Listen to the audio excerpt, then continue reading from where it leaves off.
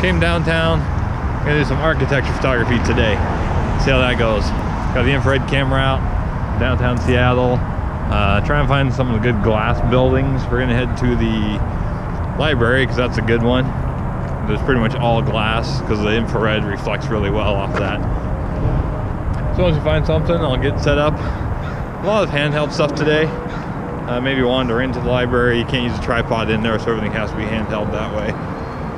So we'll just see how it goes and see what we can come up with. We're getting more of the glass buildings. Let's see if I turn it around. Up there, you got the Washington State Convention Center. So we're just gonna keep heading that way. Hopefully find the library soon. Uh, maybe head down there. A bunch of glass up there. That may work.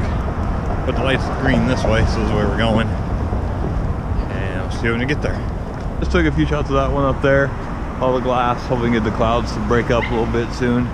To get more of a black sky. Just gonna keep heading this way. The library is somewhere up in there. You can see, I think now this way is getting more sun on the glass, so I think it may take another one. See how it looks. So we made it to the Seattle Library. You can see it's just all glass, some structure in it. Uh, so I've got the infrared. I was hoping the sun would be on it. Uh, it will be in a little, maybe an hour or so.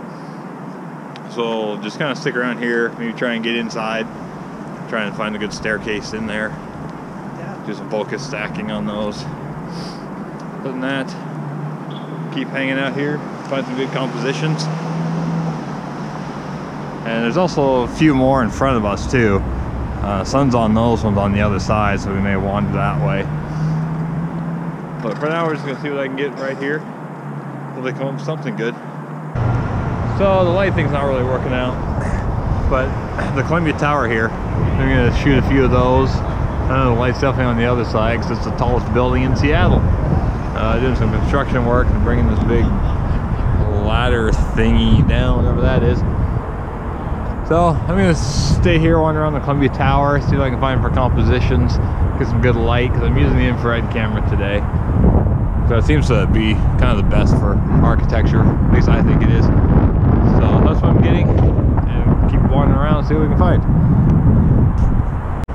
So I found some light shining around this little tree and then up to the top of the Columbia Tower. So I've got this at the very base of the photo. I'm using my 40 millimeter prime lens, so I can't really get a wide range of a photo. So I'm just kind of focusing on more smaller photos, uh, whatever more smaller means. So we're gonna keep wandering around. Hopefully light's finally popping through. You can see. Thank God, because I need light for infrared. So we're just gonna keep wandering around, find some glass buildings. Maybe head back to the library here pretty soon. See if the light's on it, but probably not. Larger buildings keep blocking the light.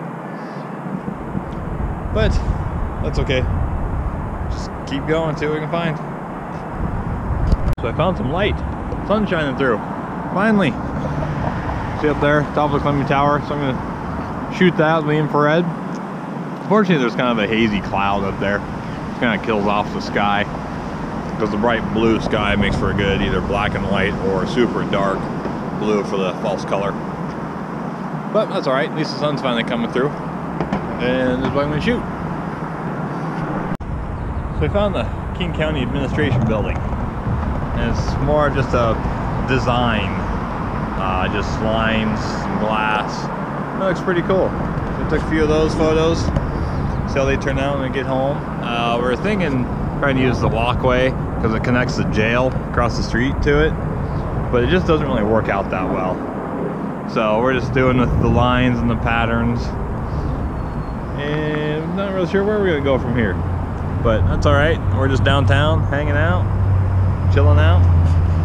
Now, Dina's got the camera, trying her her photography skills.